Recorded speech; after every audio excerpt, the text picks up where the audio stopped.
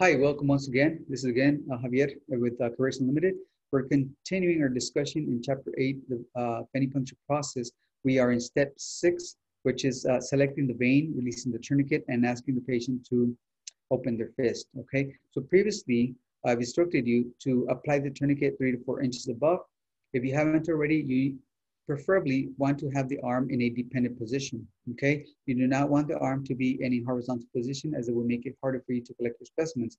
So by lowering the appendage or arm in this case, it will assist you in collecting your specimen. So once you apply your tourniquet, you ask the patient to clench a fist, you will now select the vein. Now, one of the best or easiest choices is your median cubital veins, the ones that lay right in the middle of your antecubital space. Now, while these are mostly visible for most of the time, sometimes they will be more difficult. That is why it is important that you develop and train in your palpation skills. Do not rely solely on your vision, but also on your palpation skills. When you're palpating for a vein, you're gonna be looking for a bouncy feeling, okay?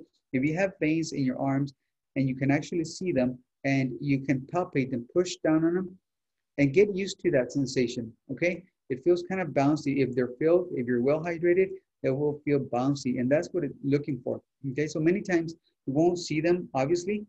That's when you apply your tourniquet.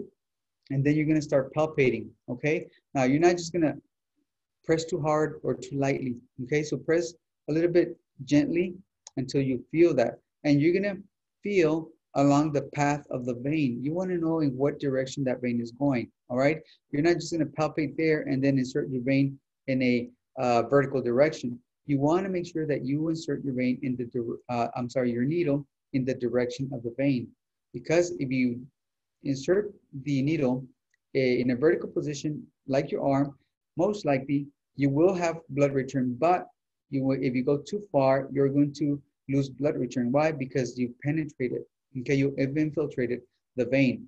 By retracting the needle slowly, you may be able to recover the vein. However, the patient will most likely bleed after you remove the tourniquet. So it's important that you apply pressure after you remove the needle. So going back, so you selected the vein, okay? You have to make sure that you clean the sites really well in a circular motion or concentric circles with using your 70% alcohol. You clean it really good in a firmly manner, not too gentle, not too rough, but in a firmly manner, okay? So you do this for about 30 seconds and then you're gonna point the one corner of your alcohol swab in the direction of the vein, okay, where you're gonna be puncturing. Okay, after you've done that, make sure that you release the tourniquet. Remember, this should not take you more than one minute, okay? Release the tourniquet, leave it there, okay? And then ask patient to relax their hand, to open their fist, okay? Once you've done that, the next steps will follow, okay? We'll see you in the next step.